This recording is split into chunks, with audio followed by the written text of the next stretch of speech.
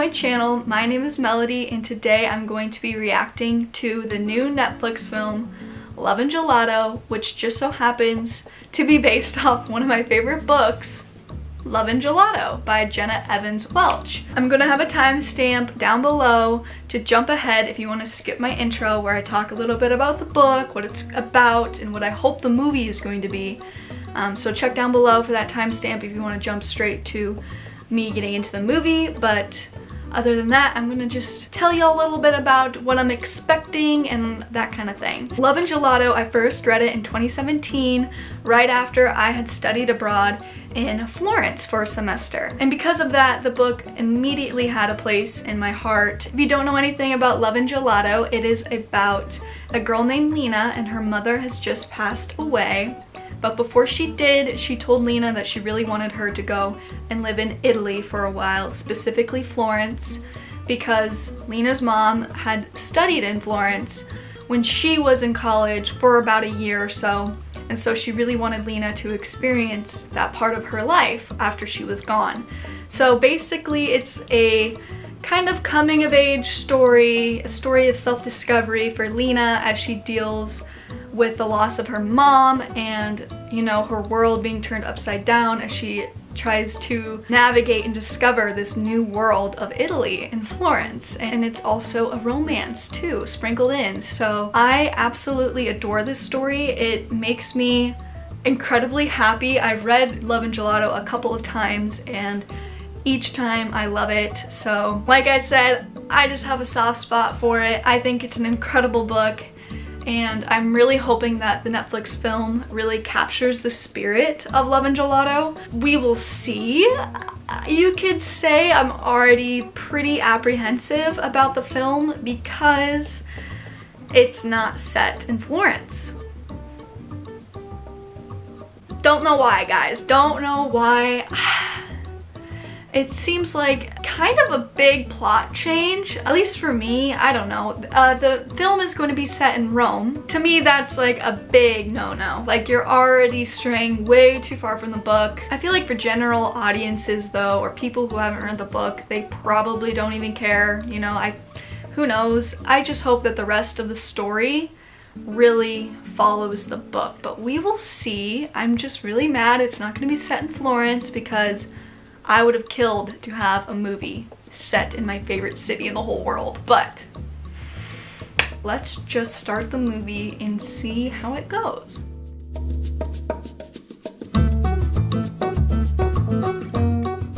Starting off strong in Rome with a view of the Vatican, panning over the river. Rome is beautiful. I love Rome. It's just not Florence. Ah, okay.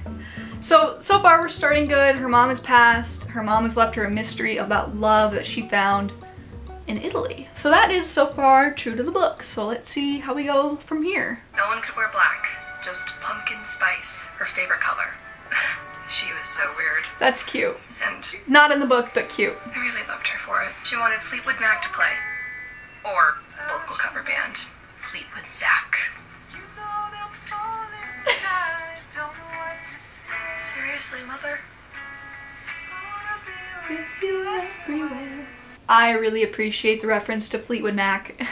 this part wasn't in the book at all, but I, I, appreciate the reference to Fleetwood Mac. She mandated that I still go on our mother-daughter graduation trip to Rome. I guess she went when she was my age and she found her purpose there or something. I asked if I could bring my best friend in the world at Okay, so a two-week trip to Rome as a graduation present? In the book, it's very much more of like a life-changing event for Lina. She is moving to Italy and because she has nowhere else to stay after her mom dies, her mom really wants her to live in Italy. So that's a big difference. Like in the movie, it's just a two-week trip and in the book, it's like a, an entire like life change for Lina. So that's a bit different. I love Addie already. In the book, she was a lot of comic relief and she was such a great friend to Lina even from afar and so far I really love the movie version of Addie as well. You've never been to Ireland? I haven't read Love and Luck yet. I'm starting to think it's about Addie. Maybe it is. You know, I know nothing about Love and Luck. I have it on my bookshelf. Yep, Love and Luck is about Addie. That's cute. I didn't know that. And that is such a cute touch that they have in the film, kind of referencing Jenna Evan Welch's second book, Love and Luck. That is so cute. And I'm kind of hoping that they film Love and Luck. Let's let's hope. Well, let's see if I like Love and Gelato first. But if I do, and then they film Love and Luck, so cool. I love it. That was neat. Okay, moving on. I pretty much don't have any family anymore. Did your mom ever talk about maybe finding your dad? Are you kidding? She said if she ever saw him again, she'd have to be bailed out of jail. Damn. She really was the goat. Interesting, in the movie, her grandparents are dead. In the book, her grandma is alive. But very cryptic, kind of about what's going on. And Alina's mom never really said much about her father. She never, you know, told Lina who her dad was, but she also never said anything negative about him either. So, well, we'll see what goes on.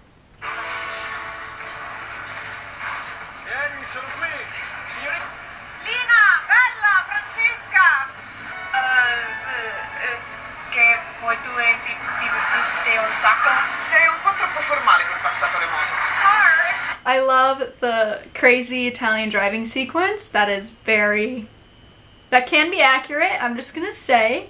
Um, I'm guessing she's talking, yeah, that's Francesca. Francesca is in the book, but she doesn't appear this uh, soon, I guess you could say.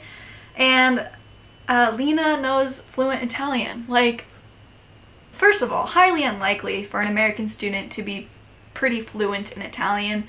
She definitely wasn't in the book. The whole language barrier thing was part of the book, part of the transition, part of her fear of going to live in Italy. So it's kind of a pet peeve of mine whenever a book is set in Italy and like miraculously the main character knows Italian when really like why would they? It's not realistic.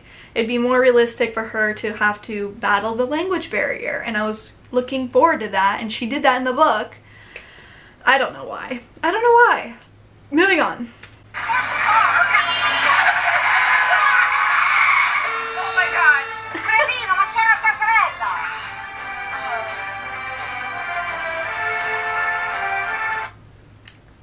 I love this. No traffic. zero traffic, zero pedestrians. When did they film this? That's what I want to know. Right next to the forum too. Lorenzo, vai, ubriacati. Grazie. Ciao. Ah, Lina, ti presento il mio rompiscatole cugino irlandese Howard. Hi. Bene, Mac. Uh, uh, sorry, Lina, the resemblance to your mother is uncanny. Howard Riley. That's Howard? What? Um, in the book, he is described to look nothing like Lina, very tall, blonde, I think. I was not expecting that. And Howard is Irish? That's just so weird. Um, instead of being a sou- like a southern gentleman like in the book, he's Irish. It's just odd. More wrinkles that mock you in the mirror. I suppose the more you think about the past. She did say that coming here changed her life. Do you know how exactly? Oh, Italy has a way of transforming you. That is so true. I like that line. In the book, Howard was, he was like the supervisor for the American Cemetery in Florence, which thinking about that, I think maybe it would have been kind of hard to film there and film that. Um, I don't know, maybe because it's a cemetery or something, but weird. He's like a professor here.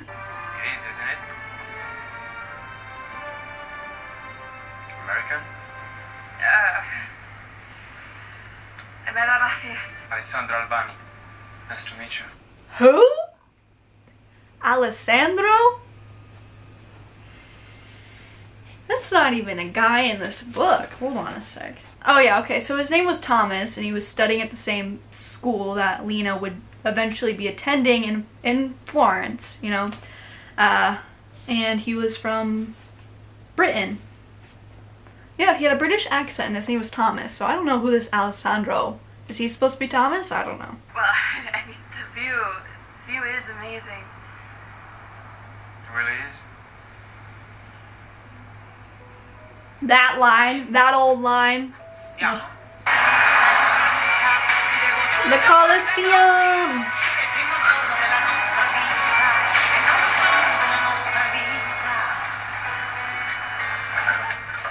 Home sweet home. Back then, I was a little jealous of it. I. I don't want it. Alright, it's good that the journal is actually in the movie. Oh, I love that building.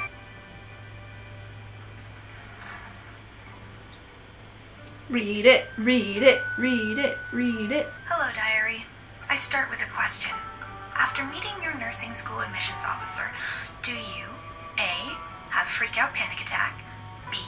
tell the parental units you all your graduation money on a plane ticket? C. buy a diary? Duh. D. all of the above. June 9th. The sun has set, but Rome is still chattering like it's alive. I'm living with a pretty great family.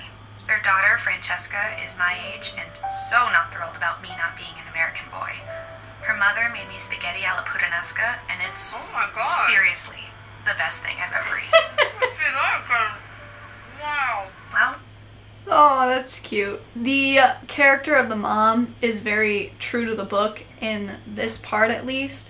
Her quirkiness and everything. I love that. The way she's talking about Rome is exactly how she talked about Florence, like the magic of it and stuff, and it's just making me wish it was Florence even more. But it's still cute. I have to admit, it's cute so far. Sai cosa saresti senza il mio aiuto? Niente. Perciò tu li chiami. Oggi. Oggi. I got that one. Alessandro's getting this backstory. I'm wondering what role is he playing here? I don't know. if you are going to that party, the first lesson, maybe the only lesson for the evening, is how to walk. A woman walks with purpose, dignity, and tips. okay, I do appreciate the Francesca we are getting in this film. We don't get as much of her in the book, at least in present day. We get quite a bit of her in the in the journal, but I do like Francesca in the film. She's fun. Complimenti, ottima opportunità. Ottimo. Un brindisi. Anche se personalmente penso che dovrebbe stare ad aiutare. All right. Ma si sa. Nice dress. Not in the not in the book. Uh, ridiculous. I, I know. I had to borrow clothes. it looks charming. Actually, yeah, yeah. Let's drink. Ok. Uh-oh. Due bicchieri di Sangiovese 2001. Grazie. Molto bene. A 2001? Prima fe- A 2001 Sangiovese? Holy moly. Reserva.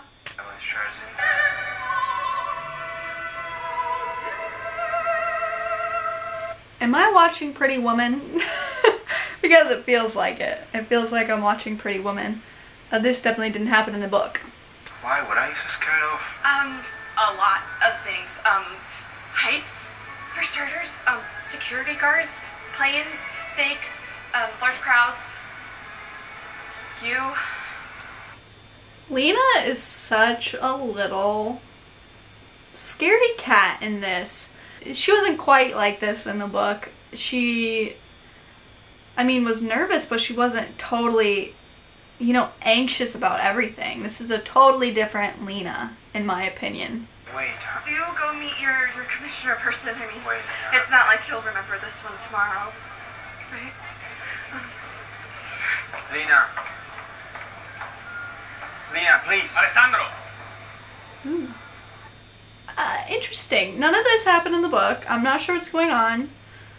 like why we're getting so much of Alessandro. I was feeling like he was going to be a red herring character, like a bad guy in, in you know a sheep's costume, but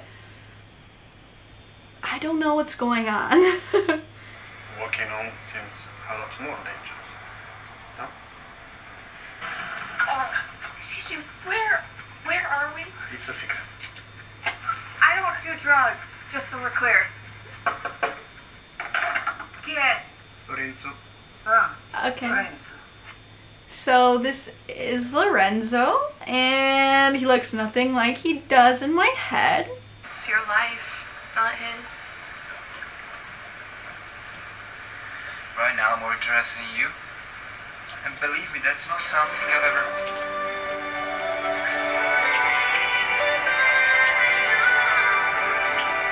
What?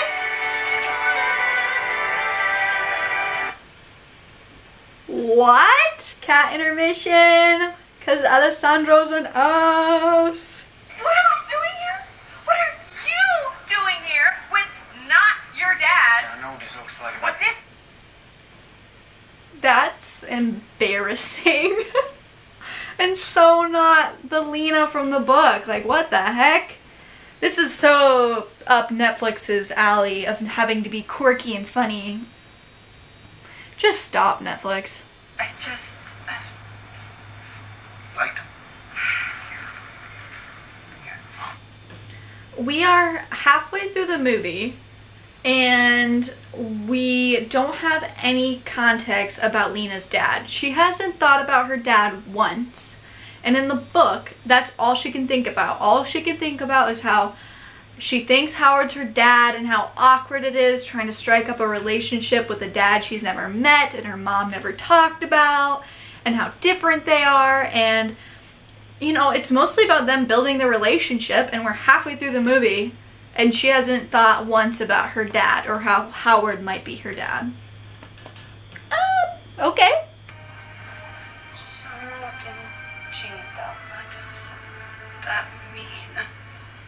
Hey Siri, translates She understands everything else, but she doesn't know what sono incinta means. So realistic. sono incinta.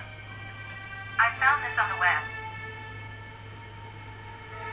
Eh, eh, Lina, this is nonna, nonna, this is Lina. This is the base to the So I'm guessing we're gonna get a little bit of a cooking montage where she'll fall farther for Lorenzo, and I guess we're getting Lorenzo's nonna. Not in the book, but it'll be fun to watch. Adesso. Poi perché te ne stai lì come una patata adesso? Who is this? Is this Ellie? Sorry. Oh, Uh, um, I'll leave. Sì, Giorgia corre in MotoGP è nella classifica mondiale. Secondo questo lo scorso weekend. Georgia? A racer? Lorenzo's girlfriend? What? In the book, he's dating a beautiful, blonde, bombshell Swede named Ellie, I think. And, uh, not this girl. Not this girl, and why she appeared out of nowhere, again, halfway through the movie, I don't know. But I don't have a beautiful familia anymore, which is why I can't fathom how I can have a father who couldn't even be bothered to show up my entire life. Not even when the woman he said he loved died. I'm. Um, sorry. Buon appetito. I'm getting so many mixed signals from Lina in this version of her because she's so quirky and shy and scared of motorcycles and cliff jumping. But then she'll stand up in front of a group of people and totally embarrass herself. You can't just pick and choose when you're courageous like this, you know? It's just not realistic. It's very cinematic and not like the book at all. If you're not this, this ex guy. His name is Matteo Bossi. Hey, they got that one right. He was her professore of photography, and Mm-hmm. much as I hate to say this, Lina, you. Well, you've been better off with that. Are we going to Florence?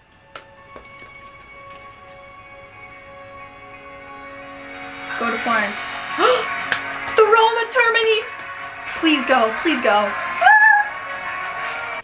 My question is, if we really are getting a sequence in Florence, why didn't they just make it like in the book? Like, why is it flip-flopped? Trust me, everything is better after gelato. Hmm. True. This whole backstory of Lorenzo being a cook and going to Florence for this cooking thing is not in the book.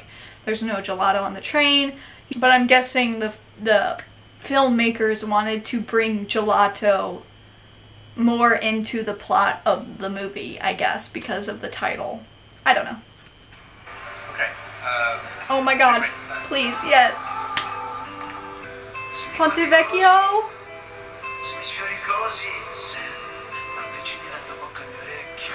Oh my god. That shot.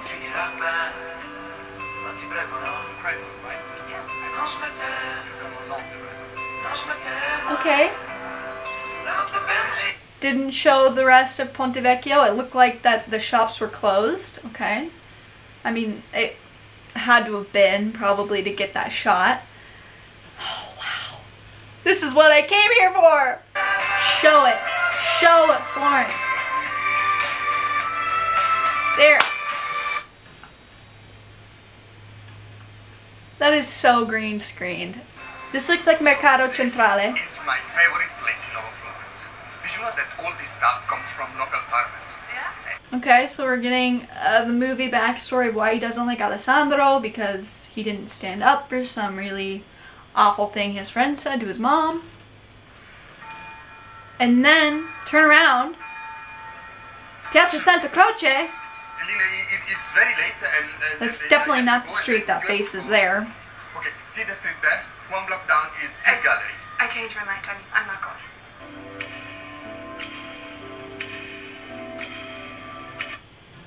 in the book, it's actually a picture of Lina that she sees in her father's gallery so that she knows that he knows of her existence, you know? Because Hadley had sent him a, one of her photos, one of her professional photos signed by her, you know, of Lina as a child.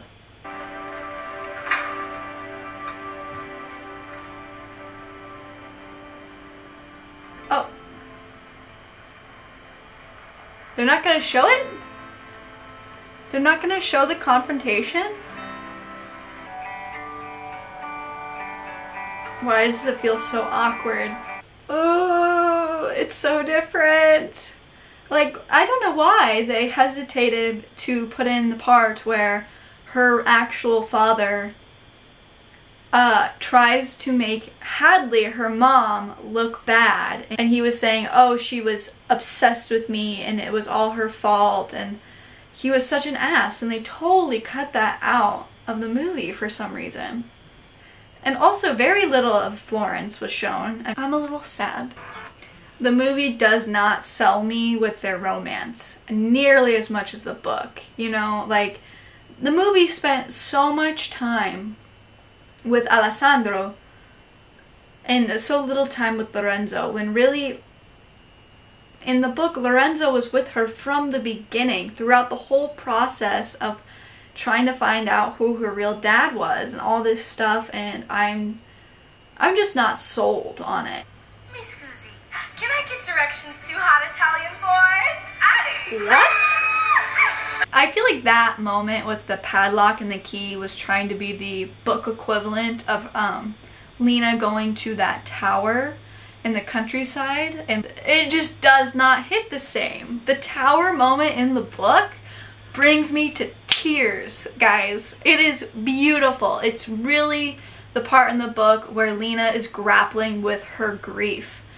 And yeah, yeah, the movie it, it touches on her grief just a little bit, but you definitely feel it a lot more in the book and it's a very big part of the book is her dealing with her grief over her mom. So, When when did he leave? Now. He just left for the train station. Don't you get it?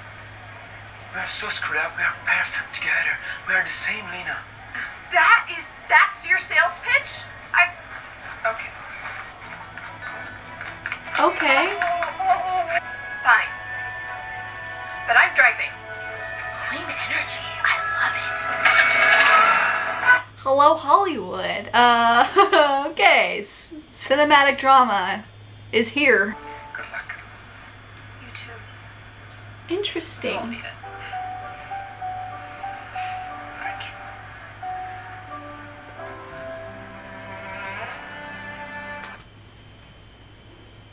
She drives a Vespa through Rome, risking her life, just to tell Lorenzo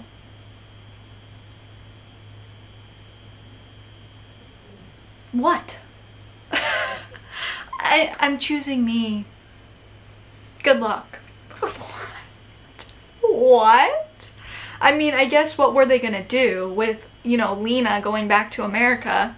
Again, from the beginning, I was like, that's gotta be an issue. It's a romance, but if she's only gonna be there a couple weeks, how's it gonna last? And this is their solution, I guess. She wanted me to come here to figure myself out. And I guess I'm still figuring, so I decided to defer a year. Stay. Okay. Like, yes, it's more like the book, I guess, but like. But Lorenzo's leaving. I'm just a little bit. I'm just a little confused. You were right, Mom. A primo amore non si scorda mai. Ah.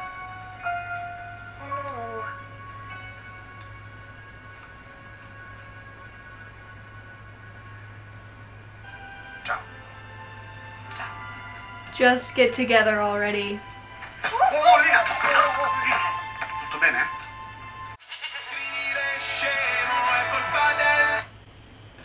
So that's that. I have a lot of thoughts. Um, the ending little epilogue, like one year later kind of a thing, like, okay. I mean, I guess in the end, she does end up with Lorenzo, like in the book, but just the process to get there was just much lengthier, you know? Um, overall, I gave the book five stars. I would give the movie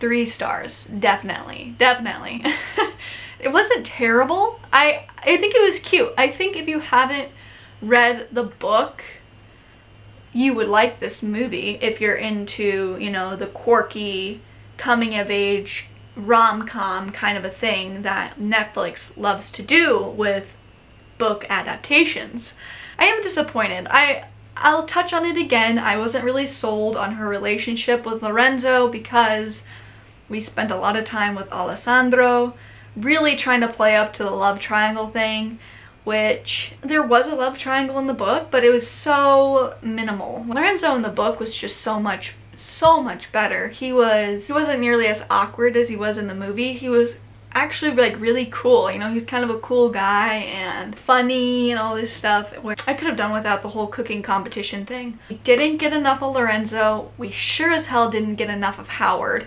Howard was completely just absent the first half of that movie it seemed and that was such a big part of the book. The book did such a better job of splitting the different plot lines up more evenly. And we had more of the grieving process in the book. So I feel like Netflix took out the harder hitting aspects of the book. They just kind of took them out and they made it more of a rom-com and they tried to make it more of a love triangle rom-com. Obviously no movie is going to beat the book, I don't think. It's kind of what I expected it to be. It's kind of a disappointment. I'm still salty about it not being set in Florence.